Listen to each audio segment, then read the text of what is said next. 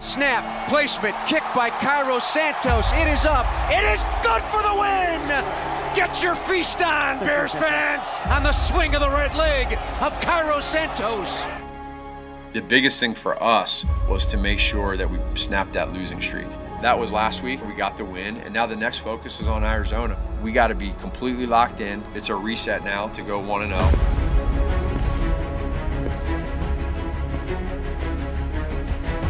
Snap, sidestep to the pocket, quickly throws over the middle. Touchdown! Touchdown, Jimmy Graham!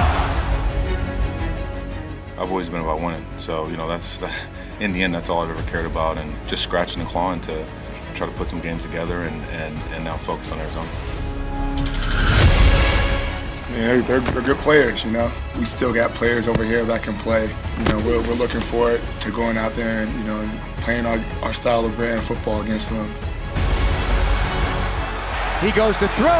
That's picked up by Jaylon Johnson. Run it perfectly.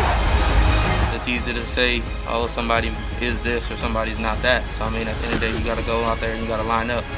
Snap. Here comes Quinn. Here comes pressure up the middle. And Quinn's got him. And down he goes. They definitely have an explosive offense. You know, we know we have a challenge. I think every week we go in expecting to win, and that's the only thing that matters, just getting the win, move on, and try to do it again.